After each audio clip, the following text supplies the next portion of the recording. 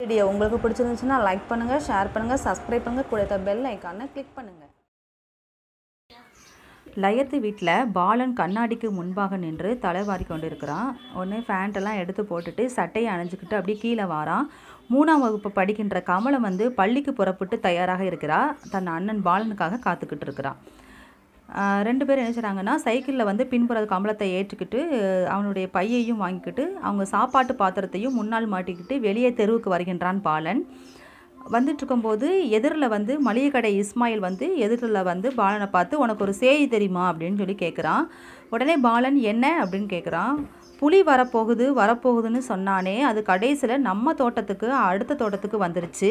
அது இங்கேயும் வந்து பாய போகுதோ அத்தோட நிற்க போகுதோ தெரியல அப்படின்னு சொல்லிட்டு இஸ்மாயில் சொல்கிறான் என்ன இஸ்மாயில் அப்படின்ட்டு பாலன் வந்து ஒரு பதட்டத்தோட ஒரு பதட்டத்தோட அப்படி வந்து கேட்குறான் அடுத்த தோட்டத்தில் நேற்று சாயங்காலம் எல்லாருக்குமே நோட்டீஸ் கொடுத்துட்டாங்களாம் அப்படின்னு சொல்லிட்டு இஸ்மாயில் சொல்கிறான் இதை கேட்ட உடனே சைக்கிளை பற்றியிருந்த பாலனுடைய கரம் அப்படின்னு நடுங்குது. நடுக்காட்டில் நடந்து செல்லும்போது ஒரு புலி எதிர்பட்டால் எப்படி வந்து கிளி பிடித்து ஆட்டுமோ அதே போல தான் இவன் இஸ்மாயில் கூறிய செய்தி பாலனை ஆட்டி வைத்தது. இஸ்மாயில் உடனே அங்கே நிற்கல அவன் உடனே போயிட்டான். இப்போ சைக்கிளை சைக்கிளில் வந்து ஏறி செல்லக்கூடிய மனநிலையும் பாலனும் இல்லை. தள்ளிக்கொண்டே அப்படி மெல்ல நடக்கிறான். மாமாவோட குடும்பம் என்னாகுமோ அக்காளுடைய குடும்பம் என்னாகும் இனிமேல் அவங்க எப்படி பிழைக்க போகிறாங்க ஆமாம் நாளைக்கு நமக்கு இதே கதி தான் நமக்கும் அப்படின்னு சொல்லிட்டு இந்த தோட்டத்துக்கு வந்துட்டால் நம்ம என்ன செய்ய அப்படின்ட்டு பல சிந்தனைகளோடு அவன் போய்கிட்டே இருக்கான். அதாவது வந்து ரப்பர் தோட்டத்துக்கு வந்து உரிமையான வெள்ளைக்காரர்கள் இருக்காங்க இல்லையா? அவங்க தான் வந்து அவங்க வெள்ளைக்காரர்கள் என்ன செஞ்சாங்கன்னா விற்று அவங்க அந்த ரப்பர் தோட்டத்தை விற்றுட்டு தங்கள் நாடுகளுக்கு செல்ல முடிவு செய்கிறாங்க இந்த முழு தோட்டத்தையும் வாங்குவதற்கு வசதியானவர்கள் வந்து மலேசியாவில் கிடையாது.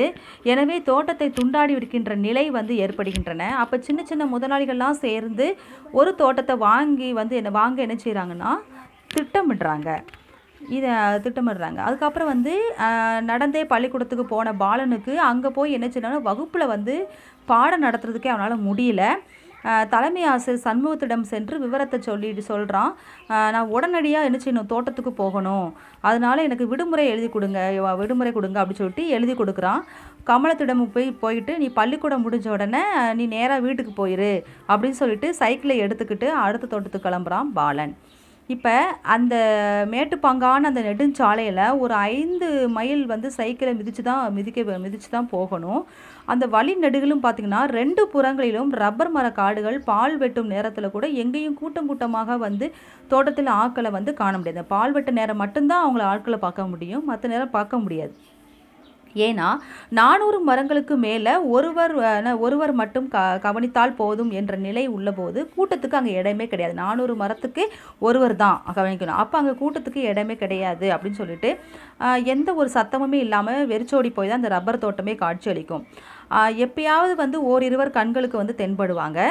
எப்போ பார்த்தாலும் தனிமை தனிமை பொல்லாத தனிமை தான் அந்த பால்மர காட்டில் இருக்குமா இப்போ அடுத்த தோட்டத்துக்குள்ளே புகுந்து அவனுடைய மாமன் பழனியுடைய குடும்பம் வந்து வழக்கமாய் பால் வெட்டுகின்ற திசையில் நோக்கி த சைக்கிளை திருப்புறான் பாலன். அப்போ செம்மன் புழுதி படுத்திருந்த ஒத்தையடி பாதையில் அந்த பால்மர காட்டுக்குள்ளே அவன் சைக்கிள் அப்படியே போகுது. அவன் அவன் கண்களில் பட்டவள் முதல் முதல் கண்களில் பட்டவள் யார் அப்படின்னு சொன்னால் கண்ணம்மா தான். அவளுடைய தாய் மாமனுடைய தாய் மாமன் இருக்காங்க இல்லையா? ஆஹ் பழனியுடைய ரெண்டாவது மகள் தான் கண்ணம்மா. பள்ளிக்கூடத்தில் வந்து ஒரு ஆறாம் வகுப்பு வரைக்கும் படித்து முடிச்சுட்டு வெளிக்காட்டு வேலை பார்த்து வந்தால் இப்போ பால் வெட்டும் வேலை வந்து கிடைத்திருக்குது போ கிடைச்சிருக்கு அவளுக்கு. இவளுக்கு வயசு என்ன இருக்கும் அப்படின்னு சொன்னால் கண்ணம்மாவுக்கு ஒரு பதினாறு பதினேழு வயசு இருக்கும். ஆனால் வயதுக்கு மீறிய வளர்ச்சி அவள் கண்ணம்மாவிடம் உண்டு. பாலன் அங்கே வந்து கொண்டிருப்பதை கண்ணம்மா கா பார்க்கல கவனிக்கலை. அவள் எப்படி அவளோட தோற்றத்தை சொல்கிறாரு அகிலன் இங்கே? மேலே வண்ணச்சட்டையும் இடுப்பில் வந்து கைலி போன்ற ஆடையையும் அவள் உடுத்தி கொண்டிருந்தாளாம். அதை பார்ப்பது அந்த காட்சியை பார்ப்பதற்கு எப்படி இருந்துச்சுன்னா நாட்டுப்புறத்து கேரளை பெண்களைப் போல தோற்றம் உடையவளாக வந்து கண்ணமாக காணப்பட்டாள் அப்படின்னு அகிலன் சொல்கிறாரு பாலன் வந்து எந்த ஒரு சந்தடி செய்ய இல்லாமல் சத்தமே இல்லாமல் சைக்கிளை இறங்கி இறை சைக்கிளிலிருந்து இறங்கி பால் வெட்டு வேலையை பார்த்து கொண்டிருக்கின்ற கண்ணம்மாவை அப்படி பார்த்துக்கிட்டே இருக்கிறான்.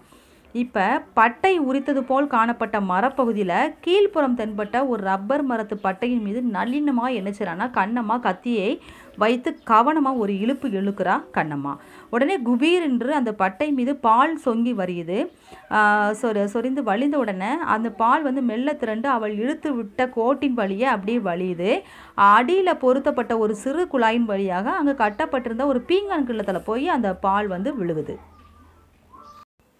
மலர் விட்டு மலர் தாவும் வண்ணத்து பூச்சி போல அவளை அடுத்த மரத்துக்கும் ஓட்டமும் நடையுமா தாவிக்கிட்டே இருக்கிறா கண்ணம்மா. கண்ணம்மா அப்படின்னு திரும்பி திடுக்கிட்டு திரும்பி பார்க்குறா கூப்பிட்டவன் பாலன் என்று தெ தெரிந்து கொண்டவுடன் புன்முறுவல் பூக்குறா.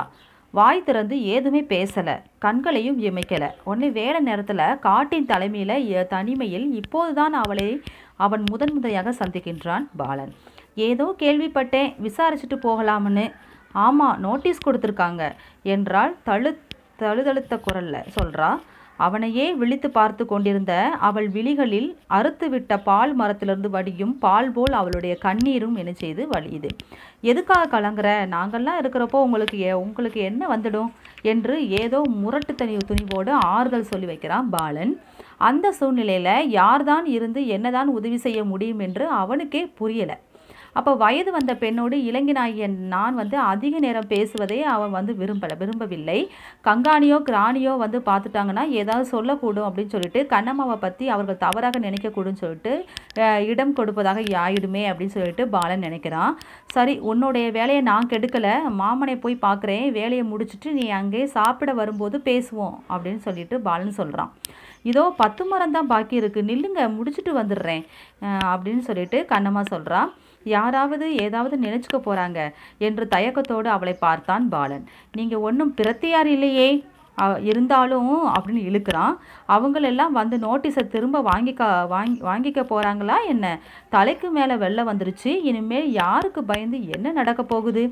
வயதுக்கு மீறிய உடல் வளர்ச்சி மட்டுமல்லாமல் மன வளர்ச்சியும் அவள் பெற்றிருந்தது பாலனை வியக்கச் செய்து. பொறுப்பை உணராதவளாக இருந்தால் கூட இந்த நோட்டீஸ் அவளை அவ்வளோ தூரம் வந்து கலங்கி வந்து இருக்காது. கண்ணம்மா வெகுளி வந்து பெண்ணும் கிடையாது. சரி நான் கா நான் காத்துக்கிட்டு இருக்கேன். அவசரப்பட்டு மரத்தை காயப்படுத்திடாத. நிதானமாக வெட்டு. நிதானத்தோடு தான் கண்ணம்மா மரம் வெட்ட முயல்கிறா. ஆனாலும் அவளால் முடியல. ஆறுதலுக்காக அவள் வந்து சொன்ன சொல் வந்து நாங்கள்லாம் இருக்கிறப்போ உங்களுக்கு என்ன வந்துடும்? என்ற சொல் அவள் நெஞ்சிலே ஆழ பதிஞ்சிருச்சு. கற்பனைகள் திடீரென்று அப்படியே பரவத படர தொடருது. எதை எதையோ நினச்சிக்கிட்டு பரப பரபடைக்கிறா கண்ணம்மா? இந்த பரபரப்புனால அவள் தன்னையும் மீறி ஒரு மரத்தை காயப்படுத்துடுறா பட்டையை சீவ வேண்டிய பகுதியில் கத்தியை என்ன செஞ்சிடறா தவறுதலாக ஆழமாக பாய்ச்சிடுறா அந்த காயம்பட்ட பகுதியில் பால் திரண்டு அது மேடு தட்டிவிடும். கங்காணியிடம் அதை அவளை வந்து கா காட்டி கொடுத்து விடும் அப்படின்னு சொல்கிறாங்க அதாவது என்னென்னா அந்த பால் வந்து கீச்சம் அந்த அந்த பட்ட காயத்தில் பால் திரண்டு அந்த இடத்துல மேடு மாதிரி தட்டிடுமா அப்போ கங்காணி அதை பா கங்காணி வந்து பார்த்தானா அதுவே அவளை வந்து காட்டி கொடுத்துடும். அதுக்கப்புறம் அவளுக்கு தண்டனையாக என்ன செய்வாங்கன்னா ஒரு வாரமோ பத்து நாளோ அவளுக்கு வேலையே தர மாட்டாங்க இனிமேல் இனிமே வாங்க போகிறது ஒரு மாத கூலி ஒரு மாத கூலி. அதனால் பத்து நாள் போனாலும் போகட்டுமே என்று தனக்குள்ளே நினச்சிக்கிட்டா. பத்து நாள் தானே போனால் போகட்டும் அப்படின்னு நினச்சிக்கிட்டா. ஆனால் அவள் மனம் அமைதி அமைதி பெறவே இல்லை. அந்த மரத்துக்கு பட்ட காயத்தை ஒரு அபச குணமாவேகமாகவே அவளுக்கு வந்து தோணுது. உடனே நல்லதை நினைக்கிறப்போ பொல்லாது நடந்துடும் போல இருக்கே. அவள் அந்த பால் மரத்தில் பட்ட காயத்தை தன்னோட நெஞ்சில் பட்ட காயமாக அவள் என்ன செஞ்சுக்கிறா நினச்சிக்கிறா. எப்படியோ பல்ல கடிச்சுக்கிட்டு மற்ற மரங்களெல்லாம் வெட்டி முடிக்கிறா. பிறகு தன் த தன்னுடைய கூந்தலை வந்து என்ன செய்கிறா ஒதுக்கி ஒதுக்கி ஒதுக்கி வச்சுட்டு இடுப்பில் வந்து செருகிருந்த கைக்குட்டையால் முகத்தை அழுத்தி துடைத்து கொள்றா. பாலன் அருகில் வந்து நின்று வாங்க போகலாம் அப்படின்னு சொல்லிட்டு வந்து சொல்கிறா கண்ணம்மா. உடனே பின்னாலே உட்காந்துக்கோ சைக்கிளில் போயிடலாம் அப்படின்னு சொன்னோன்னே ம் இப்போ என்ன அவசரம் வந்திருக்கு? மெதுவாக நடந்தே போகலாம் வாங்க அப்படிங்கிறா. உடனே பால் வெட்டும் தொழிலாளர்களுக்கு அது இடைவெளி நேரம். அதனால் என்ன செய்கிறாங்கன்னா தன்னுடைய அம்மாவும் அப்பாவும் அருகில் இருந்த சிற்றறிவு கரையில் தனக்கு தனக்காகவும் தன் அக்கால் காமாட்சிக்காகவும் காத்திருப்பாங்க அப்படின்னு சொல்கிறா கண்ணம்மா. உடனே சாப்பிட்டு விட்டு சற்று இலைப்பாற நேரம் இருக்கும். பிறகு மீண்டும் பால் சேகரிக்கும் வேலை த- வந்து வேலைக்கு திரும்பணும் அப்படின்னு சொல்கிறா சரி உங்ககிட்ட ஒரு செய்தி சொல்ல வேண்டியிருக்கு என்று தொடங்கினாள் கண்ணம்மா. சொல்லேன். அதை இப்போவே சொல்லிவிட மு- சொல்லிட முடியுமா? என்று அவனை ஏறிட்டு பார்க்குறா. வர ஞாயிற்றுக்கிழமை இந்த பக்கம் வாங்க. மெதுவாக பேசலாம் அப்படிங்கிறா. அவனே ஞாயிற்றுக்கிழமை நான் வாரேன். ஆனால் இதே செய்தியை இப்போ கூட சொல்லலாமே அப்படிங்கிறான் பாலன். இந்த நோட்டீஸுன்னு ஒன்று வரலைன்னா அதை பெரியவங்க விஷயம்னு விட்டிருப்பேன். நோட்டீஸை கண்ட பிறகு ராத்திரியெல்லாம் எனக்கு தூக்கமே வரலை. என்னமோ கெட்ட சொப்பனமெல்லாம் கண்டேன் அப்படிங்கிறா. அனாவசியமாக நீ ஏன் பயப்படுற? பயப்படாமல் எப்படி இருக்க முடியும்? அவன் முகத்தை நேருக்கு நேர் பார்த்து கேட்டாள் கண்ணம்மா. அவனுக்கு பதில் சொல்கிறதுக்கு தெம்பே கிடையாது. மௌனமாக ரெண்டு பேரும் அப்படி நடந்தே போகிறாங்க இந்த தோட்டத்துக்கு வந்து மேட்டருவி கரையில் கண்ணம்மாவுடைய அப்பா பழனி அம்மா தங்கம் அக்காள் காமாட்சி மூவரும் அவங்களுக்காக என்ன செஞ்சுட்டு இருக்காங்கன்னா காத்துக்கிட்டு இருக்காங்க. அவங்களுக்கு மத்தியில் சாப்பாடு வந்து என்ன தயாராக இருக்குது.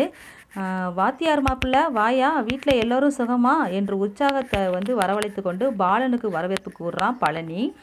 அவனை அன்றைக்கே அங் அங்கே கண்டது மற்றவர்கள் அனைவரும் ஆறு எல்லாத்துக்குமே அப்படி வந்து ஆறுதலாக இருந்துச்சு பழனியை பார்த்தது.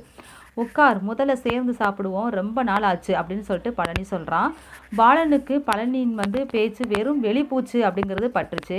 உட்காந்துக்கிட்டே நோட்டீஸ் வந்திருக்கலாம் வ- வந்திருக்காமலே அப்படின்னு சொல்லிட்டு பாலன் வந்து கேட்குறான் இதை கேட்டவுடன் பலனுடைய செயற்கை வந்து உற்சாகம் அப்படியே பஞ்சாய் பறந்து போயிடுச்சு உடனேவும் அங்கிருந்த அனைவர் முகங்களிலும் அப்படி வந்து முகவர் அப்படி எல்லாமே வாடி போயிடுச்சு தன் சட்டை பையிலிருந்து பழனி என்ன செய்கிறான்னா ஒரு காகிதத்தை எடுக்கிறான். எடுத்து பாலனிடம் கொடுக்குறான். படித்து பார்க்கிறான் பாலன். அதில் வந்து அந்த தோட்டத்தை விற்பனை செய்ய முடிவு செய்து விட்டதாகவும் அந்த வேலை பார்த்து வரும் எல்லா தொழிலாளர்களுமே இன்னும் ஒரு மாதம் தான் அங்கே வேலை பார்ப்பாங்களாம் அப்படின்னு எழுதியிருந்துச்சு. உடனே ஒரு மாதத்துக்கு அப்புறம் அங்கே யாரும் வேலைக்கு அங்கே யாருக்குமே என்ன செய்யுது வேலையும் கிடையாது. தோட்டத்து லைனை அவர்கள் காலி செய்துவிட்டு வெளியிட வேண்டும். அப்படி அவர்களாகவே கா காலி செய்யலை அப்படின்னு சொன்னால் அவர்கள் கட்டாயமாக என்ன செய்வாங்களா? அந்த தோட்டத்திலிருந்து வெளியேற்றப்படுவார்கள். போகும்போது அவர்களுக்குரிய கணக்கை தீர்த்து பாக்கி உள்ள கூலி கொடுக்கப்படும். பாலன் அப்படியே சிலையாக உட்காந்துடுறான் மலைநாட்டு தோட்டங்களை உழைத்து வரும் லட்சக்கணக்கான தொழிலாளர்களுடைய எதிர்காலம் எவ்வளவு பலவீனமான அடிப்படையில் சுழல்கிறது அப்படிங்கிறது அவனுக்கு அப்படியே புரிஞ்சு பாலனுக்கு புரிந்து விட்டது.